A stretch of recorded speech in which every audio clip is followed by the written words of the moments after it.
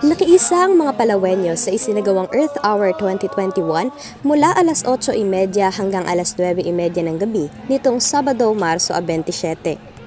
Sa Puerto Princesa, ginanap ang Earth Hours sa tatlong pribadong establishmento sa lungsod. Kabilang ang isang mall sa Puerto Princesa kung saan simula taong 2018 ay nakikilahok na sa Earth Hour. Actually po, uh, we have been partners with them since 2018 and even though we are uh, observing the Earth Hour this year in a different way compared to our previous events, we still share a common goal.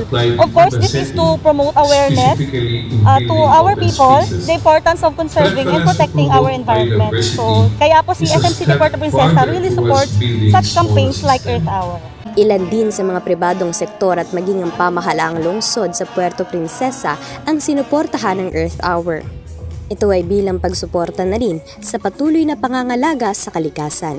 Ang Philippine Shell Foundation is uh, always a supporter of um, environmental conservation. Hindi lang naman sa aming mga programa, kundi dahil sa amin ding uh, ways, sa amin ding practices. Pero dahil ngayong taon ay meron pa rin nararanasang pandemya, limitado ang mga dapat na galaw sa mga aktibidad at kailangan din na masunod ang minimum health protocol kagaya ng social distancing. At dapat din na masunod ang curfew hour na ipinatutupad sa lungsod. Kung kaya't ngayon ay wala munang isinagawang programa. Tanging video presentation patungkol sa kalikasan at kung paano ito mapangangalagaan hanggang sa susunod pang mga henerasyon.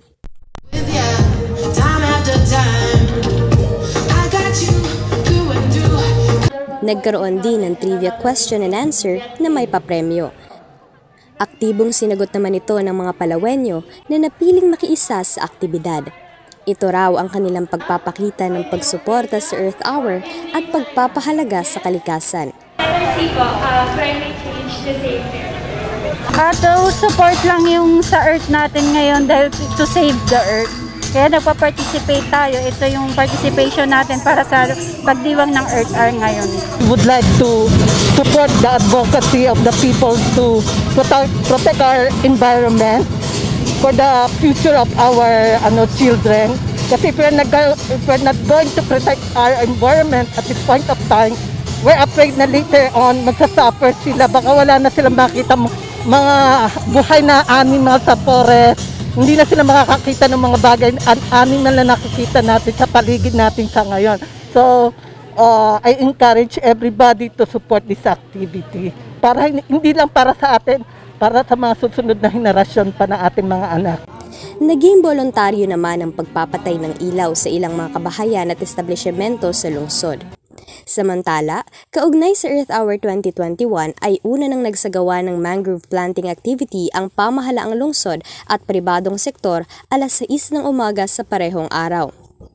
Humigit kumulang isang daang individual ang nakilahok sa pagtatanim, habang tinatayang nasa 1,500 mangroves naman ang kanilang naitanim.